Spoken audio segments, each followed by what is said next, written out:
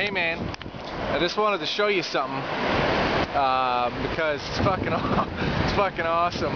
Uh, September 11, and uh, yeah, I figured I'd come out to Kehoe, just a little beach down the way from the house, and uh, I'm gonna just show you a quick little pan around. It's just me and the birds, uh, as far as I can see.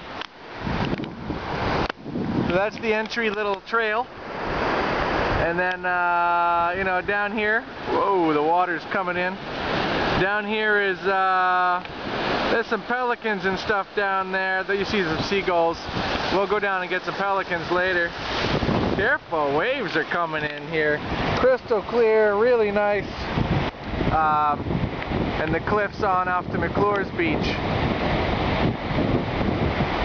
But, uh, really pretty day, man. And, uh, you know, ain't nobody here but us chickens. It's fucking awesome. So, I just uh, wanted to report that to you from um, Kehoe Beach, Point Reyes, California. it's pretty nice. yeah, I thought I'd let you know.